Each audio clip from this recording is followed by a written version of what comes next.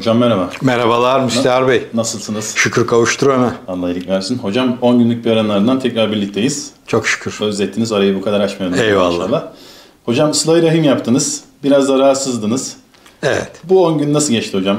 Bize Eyvallah. özetlerseniz seviniriz. Ya şöyle e, Müstahar Bey, e, bence öncelikli olarak tatil anlayışı konusunu gündeme getirmekte fayda var. Belki de hani gündemi konuşmak için bir araya geldik ama direkt gündemimiz bu olabilir. Neden? Çünkü modernizmin ya da ahir zamanın ya da geldiğimiz yaşadığımız günlerin bize dayatmış olduğu bir şey var. E, tatil anlayışı. Aslında sadece tatilde değil, alışverişte, günlük yaşamımızda, giyeceklerimizde, içeceklerimizde bize dayatılmış bazı şeyler var. Tatil anlayışı da bunların içerisinde en önemli bir paydayı oluşturuyor.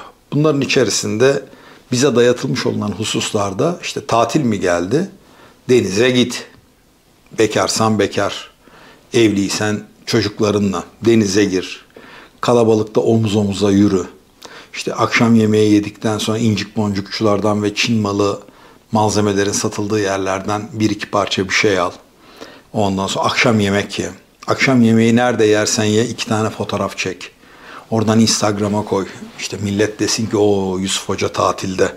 Şunu yemiş, bunu yemiş, şuraya girmiş, buraya gitmiş. Biraz böyle akşam oraya gittiğinde sivrilere yem ol.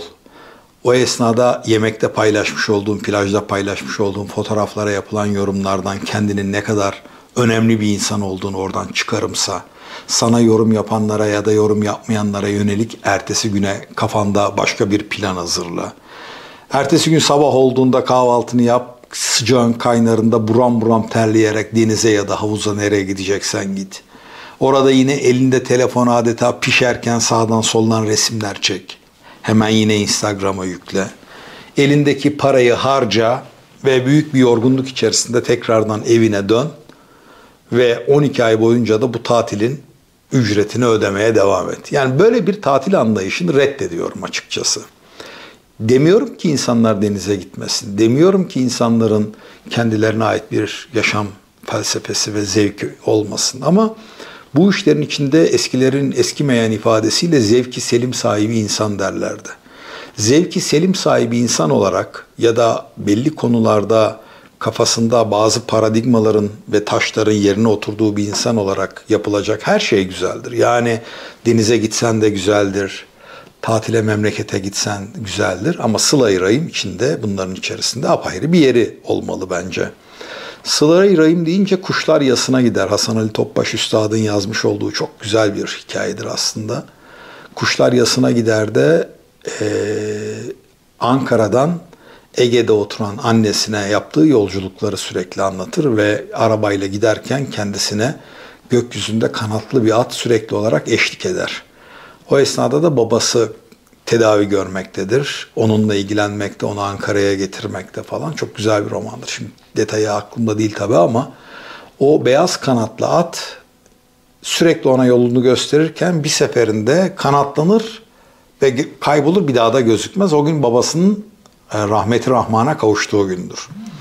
Yani ben buradan mülhem şunu söylemek istiyorum. Yani anne ve baba sağ iken Ramazan bayramlarında, kurban bayramlarında bu işi tatile dönüştürmek, sılayı rahim yapmamak, onların dertleriyle dertlenmemek, kederleriyle kederlenmemek, sevinçlerine ortak olmamak bana çok anlamlı gelmiyor. O yüzden belki de bu videonun içerisinde mutlaka ortaya koymamız gereken hususlardan bir tanesi tatil kavramını da hakkını vererek yapmak gerekir. Tatil kavramının dışındaki hususları da gözümüzden geçirken bu anlamda bunlar şey olmalı.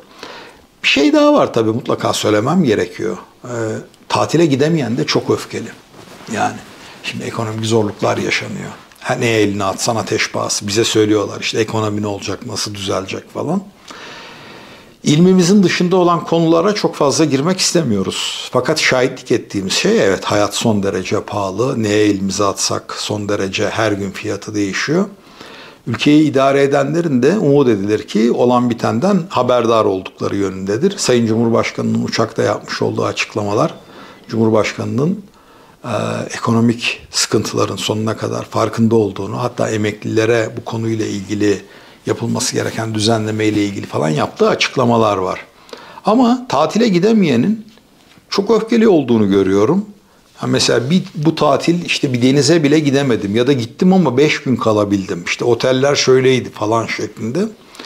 Mesela ben Balıkesirliyim. Etrafımdaki insanlardan biliyorum. Acayip bir şey var. Yazlık alma yarışı.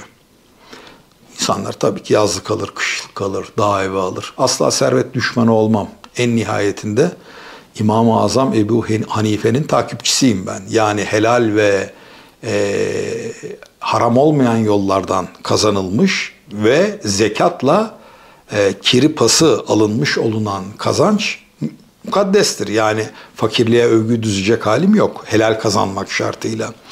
Dolayısıyla insanlar yazlık da alabilirler, kışlık da alabilirler, dağ evi de alabilirler ama ya şöyle bir şey var. Başlıyorsunuz Çanakkale civarından Hatay Arsuz'a kadar gittim. Ee, gördüğüm manzara e, işler acısı. Yani Hatay'dan başlayın Adana, Antalya, Mersin, Mersin, Antalya, Muğla, oradan devam edin işte İzmir, e, Balıkesir, Çanakkale bu sahil şeridinde bir yazlık çirkinliği diye bir şey var. Akıllara ziyan. Zeytinlikler talan edilmiş. Derme çatma yazlıklar. Ondan sonra insanlar oraya gidiyorlar.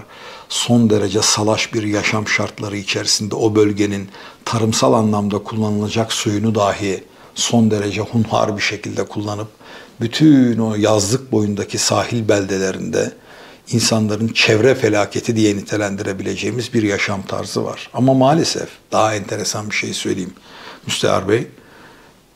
Bu insanlar kendilerini bu ülkedeki en çevreci insan zannediyorlar yani. Yani mesela Çorum'un Alaca ilçesinin bilmem ne köyünde oturan Ali amca değil de bu insanlar kendilerini son derece çevreci hissediyorlar. Halbuki yani şahitlik edin ya. Yani ben bizzat o sahil şeridini yani hem doğduğum büyüdüğüm yerler anlamında hem de sürekli Anadolu illerini, ilçelerini gezen birisi olarak görüyorum. Çok pis bir görüntü altında bir yazlıkçı zihniyet var. Yani bugün Kaz Dağları yağmalanmış. Kaz Dağları'nı yağmalayanlar çevrecilikten ve ekolojiden bahsediyorlar.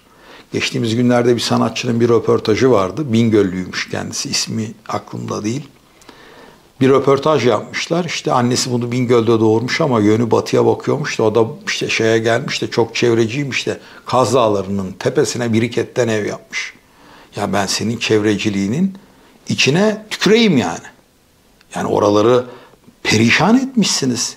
Hala da çevreci modunda. Yani şöyle oluyor. Ben çevreciyim. Benim olsun. Benden başka birisi gelip zeytin ağacı keser yaparsa ben onu protesto edeyim ama ben hariç.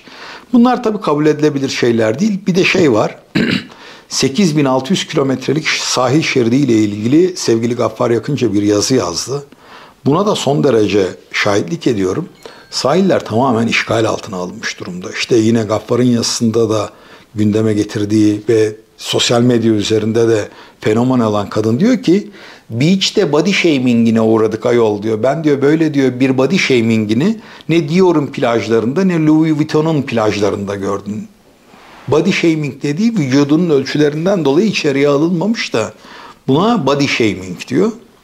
Bunu ne Louis Vuitton'un plajlarında görmüş ne bilmem nerede. Ya arkadaş yani bunlar nereden türedi, nereden peydah oldu?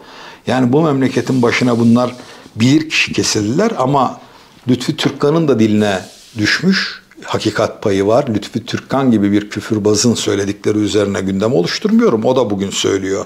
İşte plajlar diyor e, mafya ve PKK ilişkisi içerisindeki insanlar tarafından esir alınmış diyor. Hükümet burada ne yapıyor? Tamam hükümete tabii ki şimdi biz de soralım.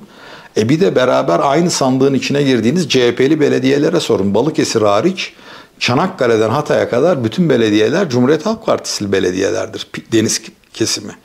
Yani Hatay öyle, Adana öyle, Mersin öyle, Antalya öyle, Muğla öyle. Çıkın İzmir öyle. Arada Balıkesir var. Orada olmayan. Devam edin. Çanakkale öyle.